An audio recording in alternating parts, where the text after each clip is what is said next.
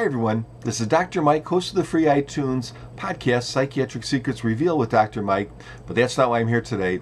This is another Saving Savvy episode, actually a, Photography 101 episode, and we're going to talk about the problem of backlighting. So what is backlighting? We'll take a look at that window over there. See how bright it is? Now imagine if you had me in front of that window and you took a picture. The camera is going to meter for the whole image which means that I am going to be underexposed or I'll look like a silhouette. Now, I've had some requests for doing some kind of tutorials on simple point and shoot cameras, and so this tutorial is useful if you're using a simple point and shoot camera, or if you just got yourself a nice DSLR and you're going to be uh, using this, but you're not quite sure what to do with it, it's just finding the right controls. So you really want to read your manual, download the manual if you threw it out, and it's going to tell you where all these buttons are. So let's get into some screens and, and I'll show you what I mean. All right, this first scene is me just taking a picture um, out of a towards the backyard of my house. And unfortunately, the windows are a little dirty. Uh, I actually did clean these windows about a week ago, but I didn't do them with bright sunlight, so I have to do a better job. But you can see that it's properly exposed. This next scene shows my son, and you can see that in just a regular mode, with the camera metering for the entire scene, the background is fine, but he is completely underexposed. So how do we correct that? Well, there are really many different ways, and your camera may have all of these different ways or some of them, and you may find that some work better than others for some situations. So you have to do a little experimenting. But first, on this particular camera, because we're going to be using this Olympus Stylus XZ2 because it gives us a lot of options. We're going to look at the top of the camera and we can see the mode or the control dial. And the one thing that I want you to look at at this camera is that it has a function called Intelligent Auto. And a lot of newer compact cameras have that. So when the camera is in Intelligent Auto, it not only does a general exposure and that sort of thing, compensation, what it's going to do, it's trying to figure out the scene itself and it will determine if it's an action scene or a macro or a backlit scene or a variety of other scenes.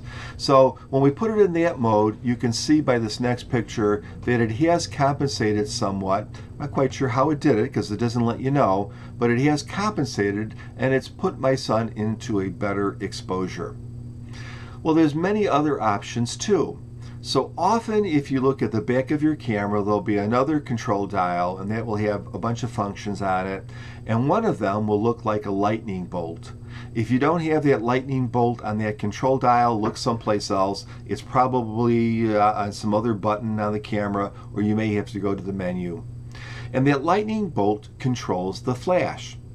So here we have a lot of flash options, but the one that we're going to want to use is the one that's just the straight lightning bolt with nothing around it, and that means it's a fill flash, which says the flash is going to go off even if the camera thinks it doesn't need to.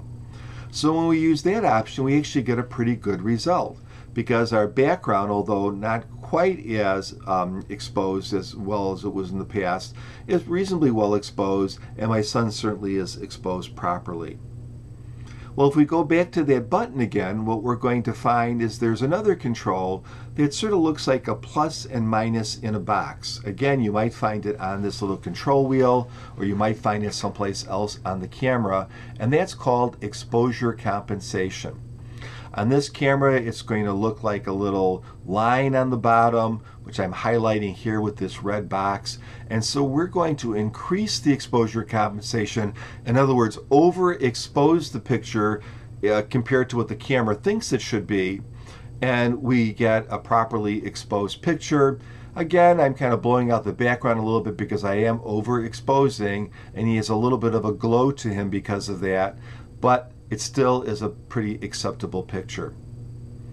There are additional things that we can do too, again, according to your camera, and these usually are available when you're in program mode or aperture priority or manual mode or shutter priority or one of the little more sophisticated modes that many cameras will allow.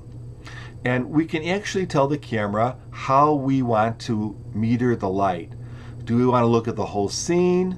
Do we want to look at the whole scene but emphasize the center?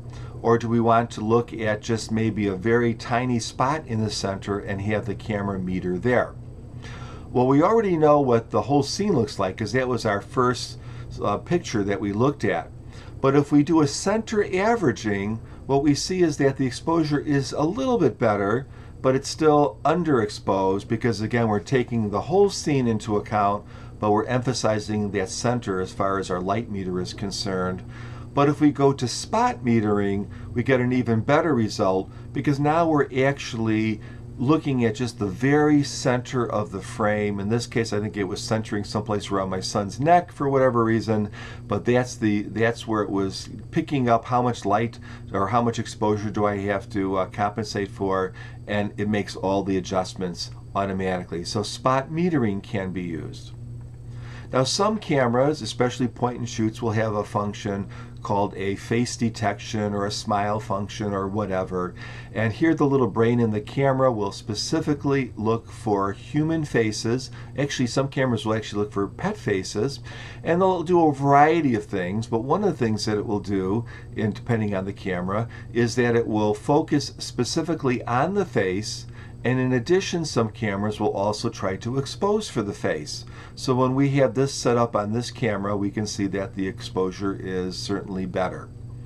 And lastly, some cameras will offer scene modes. And if you go into the scene mode, you might find a mode that says backlit mode, or it might say backlit HDR. And these actually modes will do somewhat different things, but what they all do is they try to compensate for um, a foreground object and to make sure that that object, like a human, is in focus and, and is also in proper exposure um, compared to evaluating the whole scene. And in this particular camera, I think it takes a couple of shots at different exposures and then and then uses this little computer to combine them together so you get a better exposed picture, which is the result that you're seeing right now. So let's take a look overall at the different options that we've had. Again, your camera may have all of them, it may have some of them, but I guarantee that it will at least have a couple of them. So, uh, so really, it's a very important thing to know. So here again is our first just generic picture, underexposed. Then we go into the intelligent auto where the computer's trying to figure out what to do. We then go into the fill flash, which actually probably worked the best on this particular camera, where we're forcing the flash to fire. We then go into exposure compensation where we're actually overexposing the image and uh, getting a little bit of a glow, but again, making a picture that's usable. Um, the next one is center averaged um, light metering where it's concentrating on the center, but it's really metering most of the frame. Does a somewhat better job. If we do spot metering when we're right in the center of the frame, an even better job. Face detection does an okay job too and HDR gives us a little bit more definition. And I believe in the camera that I was using took a couple of different images for the backlighting. This is again backlit HDR but I know it certainly did some computer time to process the image to get the image that you're seeing here. So there you have it. A bunch of different ways to deal with backlit situations. Again your camera may have all of them or some of them um, but even the simplest camera like this little point and shoot will have something um, all the way up to your DSLR if you've just gotten your brand new DSLR. And a lot of times these cameras like these um, enthusiast cameras will have everything because they're they're kind of a combination of the features of a DSLR um, and the convenience of a little point and shoot.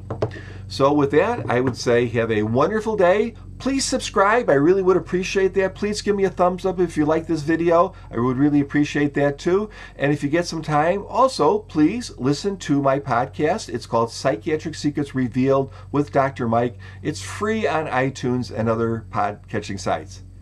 Take care, everyone.